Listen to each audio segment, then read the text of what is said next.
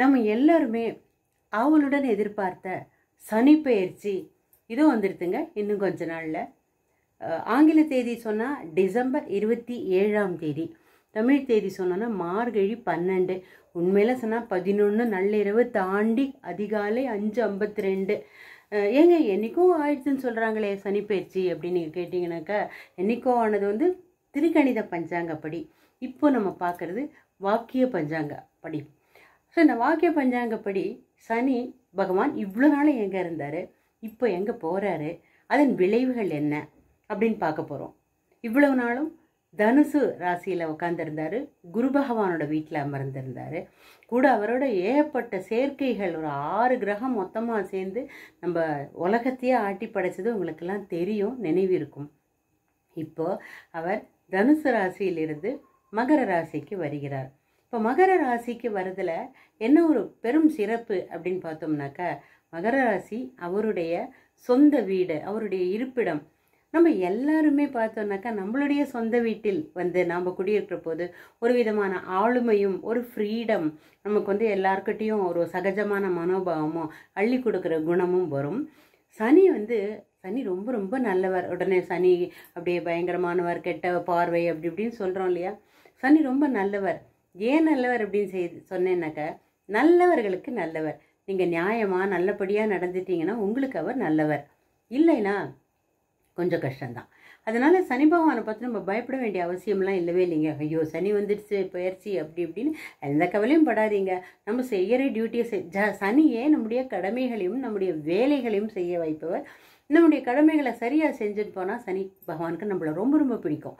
அதனால் வந்து நீங்கள் வந்து அமைதியாக நம்ம பாட்டுக்கு நம்மளோட டியூட்டி செய்கிறதோட கூட சனி பகவானுடைய வழிபாடுகளை சிறப்பாக செய்திருங்க. அப்படி செய்தால் போருமே. இப்போது நம்ம வந்து கும்ப மகர ராசிக்கு மகர ராசிக்கு சனி பகவான் வர்றாருனா அதில் என்ன சிறப்பம்சம் அவர் அது அவருடைய சொந்த வீடு அப்படின்னு பார்த்தோம். சனி பகவான் எல்லா கிரகத்துக்கும் பார்வைகள் உண்டு. சனி பகவானுக்கும் பார்வை உண்டு. சனி தான் இருக்கும் வீட்டிலிருந்து மூன்று ஏழு பத்து ஆகிய வீடுகளை பார்ப்பார். இப்போ நம்ம மகர ராசிக்கு சனி வந்திருக்கிறதுடைய பலன் பிரகாரம் அவர் என்ன செய்ய போறார்? எங்க பார்க்க போறார்? அப்படின்னா மீனம் கடகம் துலாம் இந்த மூன்று ராசிகளை பார்க்க போறார். உடனே பயந்து அலறாதீங்க. மீனம் கடகம் துலாம் காரங்களாம் பயந்து அலறாதீங்க. அதோடைய விளைவுகள் என்னங்கிறதையும் நான் போக போக ஒவ்வொரு ராசிக்காக சொல்கிறேன் சனி பகவானை பார்த்து பயப்படாதீங்க. இப்போது சனி பெயர்ச்சினால என்னென்ன ராசிக்கு என்னென்ன பலன்கள் அப்படிங்கிறத பார்ப்போம்.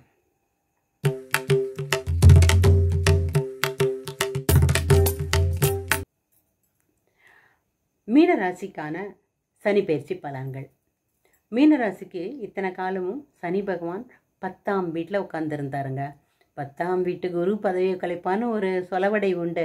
பத்தாம் வீட்டு சனியுமே உங்களுடைய உத்தியோகத்தில் இருக்கிற வாய்ப்புகளெல்லாம் உங்களை தடுத்து தாமதப்படுத்தி இருக்கக்கூடும். அவரோட குரு இருந்த காலத்தில் கொஞ்சம் அப்போவுமே எப்படி பார்த்தாலுமே உங்களுக்கு கடந்த ரெண்டரை வருடமாக வேலை பற்றின டென்ஷன்ஸ் இருந்திருக்கும். சில பேருக்கு வேலையே போயிருக்கும். சில பேருக்கு வந்து ஒரு ப்ரமோஷன் எதிர்பார்த்த அளவு கிடைக்காம இருக்கும். சம்பள உயர்வு கிடைக்காம இருந்திருக்கலாம். எல்லாம் முடிஞ்சு போச்சுங்க. இப்போ இந்த வருஷம் பதினோராம் வீட்டுக்கு சனி பகவான் வருகிறார். பதினொன்றுங்கிறது என்னங்க? லாபஸ்தானம். பதினோராம் வீடு. லாபம் இந்த இதனால் என்ன ஆகும்னா ப- அவர் வந்து தன்னுடைய வீட்டுக்கே ஆட்சியாக வந்திருக்கார் இல்லையா? வரப்போகிறார் இல்லையா? டிசம்பர் இருபத்தி ஏழாம் தேதி. அதனால் ஆட்சியாக சனி வர்றதுனால லாபங்கள் குறைபடாது. லாபங்களை அவர் தடுக்க மாட்டார். எந்த நன்மையுமே சனி பகவான் தடுக்க மாட்டார். நேர்மையானவங்களுக்கு நன்மை நேர்மை இல்லாதவங்களுக்கு கட்டாயமாக தடுப்பார். பொய்யான வகையிலையோ தப்பான வழியிலையோ சம்பாதிக்க நினைக்கிறவங்களுக்கு மட்டும்தான் தடைப்படும். மற்றவங்களுக்கு தாமதப்படலாம். ஒரு சம்பளமோ ஒரு லாபமோ கொஞ்சம் தாமதமாக கூடும். ஆனால் மறுக்கப்படாது. உங்களுக்கு கட்டாயம் கிடைக்க வேண்டிய லாபமும் வருமானமும் முறையாக கிடச்சிருங்க. ஒன்றுமே பிரச்சனை இல்லை. இந்த சனி பகவான் உங்களுடைய ராசியை பார்க்குறார். சோம்பலை தூக்கி போட்டுடுங்க ராசியை பார்க்கறதுனால. சோம்பல் விளையறதுக்கான வாய்ப்புகள் இருக்குது நாளைக்கு பார்த்துக்கலாம். கடைசி நிமிஷத்தில் பார்த்துக்கலாம். கடைசியில் ஏர்போர்ட் போகிறதுக்கு அஞ்சு நிமிஷம் முன்னாடி பேக் பண்ணிக்கலாம். எக்ஸாமுக்கு முத நாள் ராத்திரி படிச்சுக்கலாம். இப்படிலாம் நினைக்காம முதலேருந்தே முனைஞ்சு பொறுப்பாக செய்துட்டே வந்தீங்கன்னாக்கா ஒரு ப்ராப்ளமும் இருக்காது. சனி பகவான் உங்களுடைய ஐந்தாம் வீட்டை பார்க்கிறார் ஐந்தாம் வீடுங்கிறது பூர்வ புண்ணியஸ்தானம் மற்றும் புத்திரஸ்தானம். நீங்கள் செய்த நற்செயல்கள் தீய தீய செயல்கள் புண்ணியம் பாபங்கள் போன ஜென்மத்தில் செய்தது இந்த ஜென்மத்தில் செய்தது எல்லாத்தையும் ஒர்க் அவுட் பண்ண வைக்கிறது ஐந்தாம் வீடு தான் இந்த ஐந்தாம் வீட்டை சனி பார்க்கறதுனால என்ன ஆகும்னாக்கா உங்களுடைய புண்ணிய செயல்கள் கொஞ்சம் தடப்படலாம்.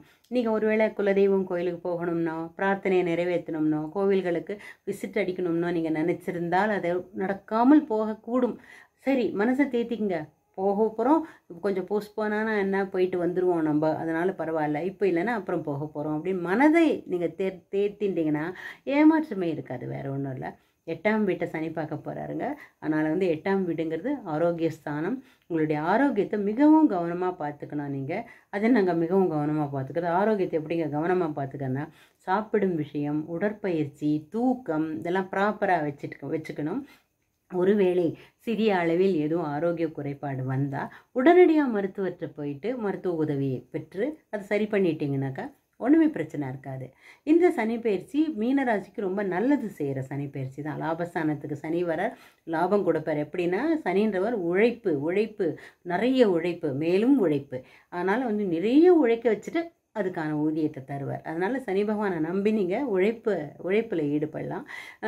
இப்போ அந்த அதிர்ஷ்ட சா அதிர்ஷ்டம் கிருஷ்டம் குருட்டு அதிர்ஷ்டம் ஜாக்பாட் அதெல்லாம் நம்பாமல் உழைப்பினால் அதிர்ஷ்டம் வரும். தைரியமாக நம்பி உழைக்க ஆரம்பிச்சிங்கன்னா நீங்கள் நூற்றி பத்து பர்சன்ட்டுக்கு உழைத்தால் நூறு பர்சன்ட் நன்மை கிடைக்கும். இந்த உழைப்புக்கு சற்று குறை குறைவான அல்லது தாமதமான பலன் கிடைத்தாலும் கட்டாயமாக கிடைக்கும்.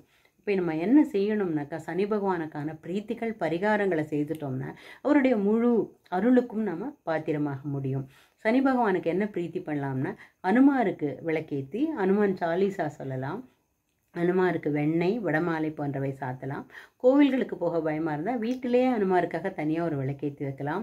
வீட்டிலேயே ஒரு ஒரு தினமுமோ ஒவ்வொரு சனிக்கிழமையுமோ இரும்பு விளக்கு ஏற்றலாம் பாத்திர கடைகளில் உங்களுக்கு இரும்பு விளக்கு கிடைக்கும். அதை வாங்கி ஏற்றலாம் தினமும் காக்காய்க்கு சாதம் வைங்க. காக்காய்க்கு சாதம் வைக்கிறபோது அதில் ரெண்டு எள்ளு வைங்க. காக்காய்க்கு சாதம் வைக்கிறது நமக்கு சனி பிரீத்தி மட்டுமல்ல முன்னோர்கள் இறந்து போன பித்திருக்களுடைய ஆசீர்வாதத்தையும் வாங்கி கொடுக்கும். கருப்பு நாய்க்கு சாதம் வைக்கலாங்க. ஏழைகளுக்கு எளியோருக்கு அவங்க இவங்களுக்கெல்லாம் நீங்கள் வந்து போர்வை வாங்கி கொடுக்கலாம் உடைகள் வாங்கி கொடுக்கலாம் சாப்பாடு வாங்கி கொடுக்கலாம். இதை செஞ்சீங்கன்னா உங்களுக்கு சனி பகவானோட அருள் பூரணமாக இருக்க போகிறது good luck all the best